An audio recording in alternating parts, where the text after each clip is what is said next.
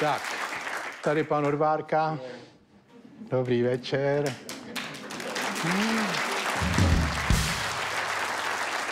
Vy jste dosáhl na prostýho vrcholu, vám tleska jenom za to, že jste přišel. No. Kež bych na tom byl podobně, tak se tady podíváme na zprávy. Tohle je dobrý, to prosím vás, divoká prasata běhala po České lípe, pět silat navštívilo dokonce divadelní premiéru.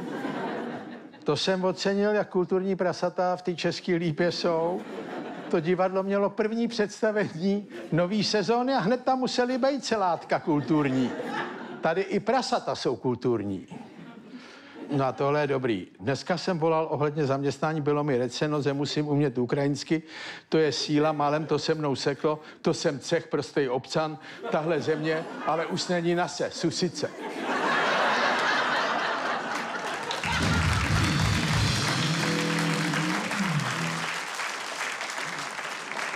A jmenuje se Vítvedek Hartl nebo Vídek Hartl, podle toho, jak to chcete číst. Tohle je taky dobrý. Čaute, nenašel někdo dnes takýto ruksak?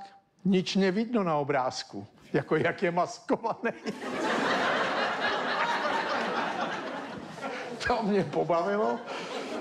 A tady, dobrý den, auto máte hotové, můžete si pro něj přijít zítra od 8.30. Dobrý, jaká je finální cena za servis? 53 400, auto si nechte. Půjdu umít auto, Praha. Půjdu se vysrat, Jičín.